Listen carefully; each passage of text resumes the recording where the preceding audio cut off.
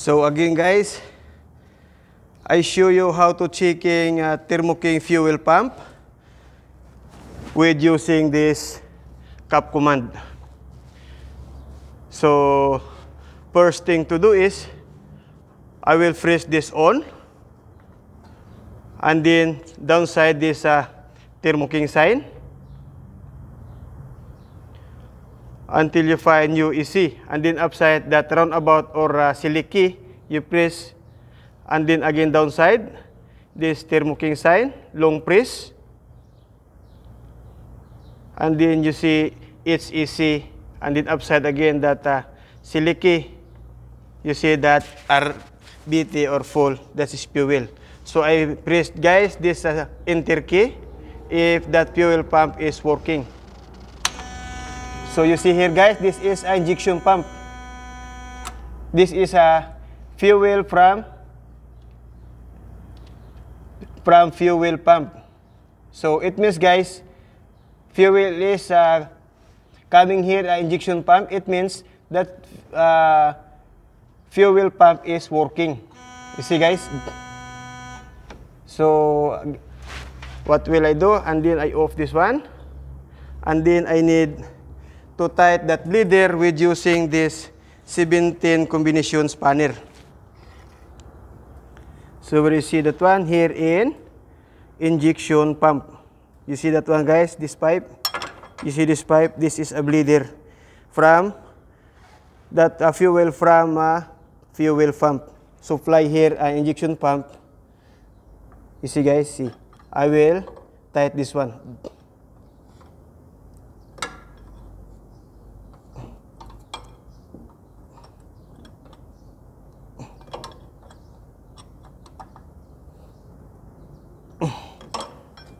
So I already finished tightening. I will try to start the engine. So again, I press on and then we will wait few seconds until the engine will start.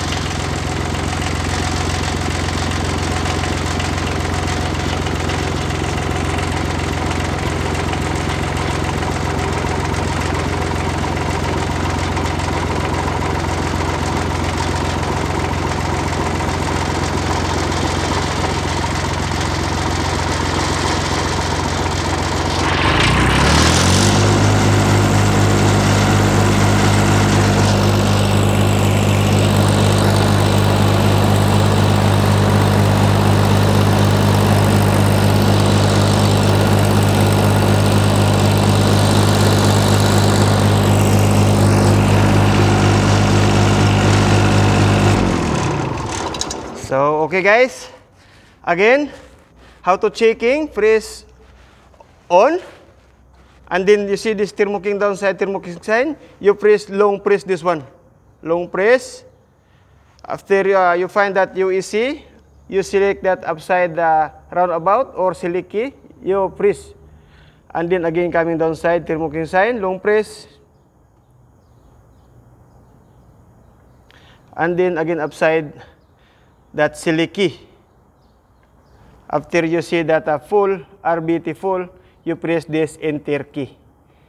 You hear that voice from uh, warning for the uh, engine starting. See? Oh, it means the fuel pump already full. So again, I on.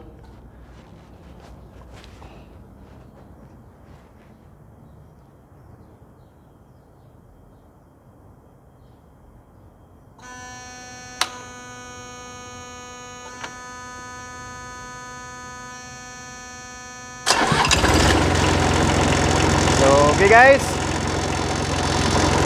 Thank you for watching. Hope you have some knowledge taking how to uh, checking uh, fuel pump with using this cap command. Okay guys, see you.